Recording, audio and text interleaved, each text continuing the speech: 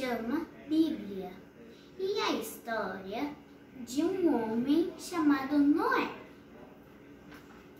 Um dia, Deus chamou Noé e mandou que ele construísse um barco bem grande.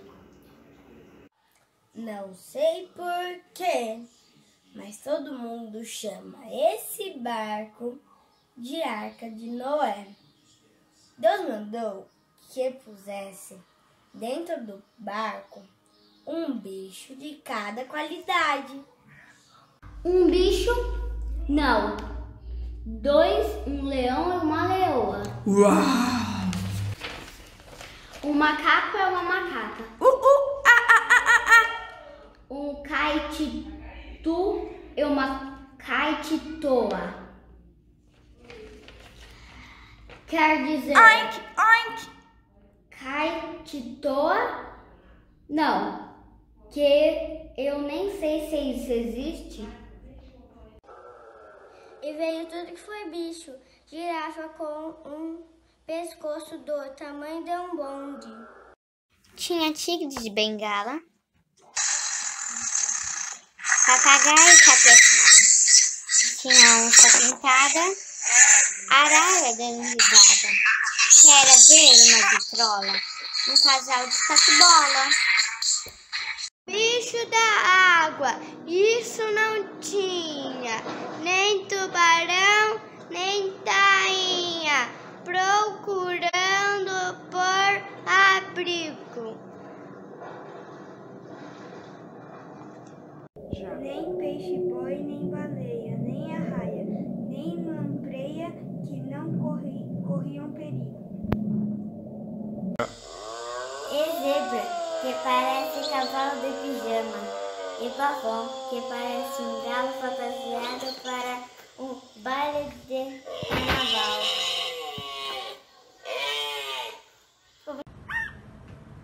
E cobra, jacaré, elefante e paca tatu. É cutia também. É passarinho de todo jeito. Curió, bem-te-vi, papa capim. É inseto de todo tamanho, formiga, chorinho, louva-a-Deus. Eu acho que Noé devia ter deixado para tudo que é bicho idiota, como pulga, parado e pernão, que faz frio no ouvido da gente. Mas ele não deixou. Levou tudo que foi bicho. Tinha peru. Tinha pato.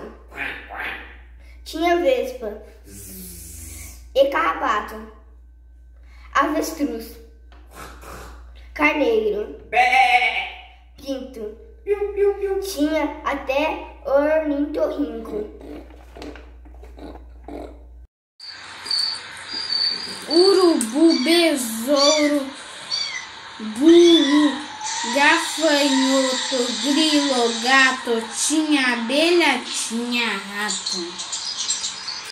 Quando a bicharada estava toda embarcada, e mais a família do Noé todinha, começou a cair uma chuvarada.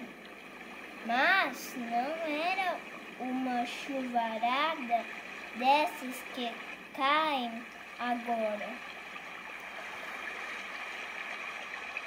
Seja uma cachoeira, pois era igualzinho a outra cachoeira, caindo, caindo que não acabava mais. Parecia o rio Amazonas despencando. E aquela água foi cobrindo tudo, tudo. Cobriu as terras, cobriu as plantas, cobriu as árvores, cobriu as montanhas.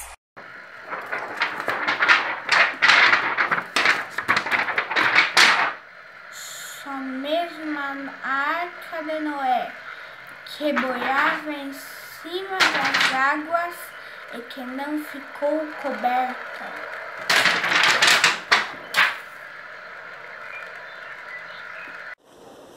E mesmo depois que passou a tempestade, ficou tudo coberto de água. E passou muito tempo. Todo do mundo estava enjoado de ficar preso dentro da arca, sem poder sair nenhum bocadinho. Os bichos até começaram a brigar. Que nem criança que fica muito tempo dentro de casa. Eu já começo a implicar com os irmãos. O gato e o rato começam a brigar nesse tempo e até hoje não fizeram as pazes. Até que um dia veio ventinho lá de longe e as águas começaram a baixar e foram abaixando, abaixando. E Noé teve uma ideia, mandou o pombo dar uma volta lá fora para ver como estavam as coisas. Os pombos são ótimos para isso. Eles sabem ir e voltar dos lugares sem se preocupar nem nada. Por isso é que Noé escolheu o pombo para esse trabalho. O pombo voltou com uma folhinha no bico.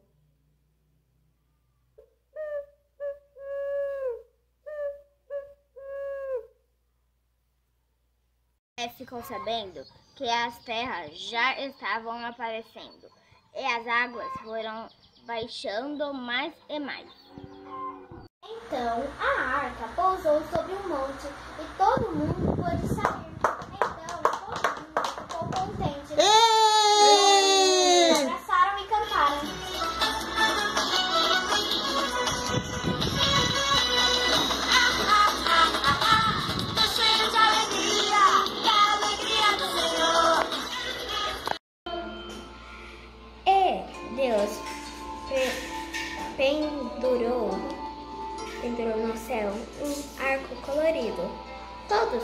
de listras.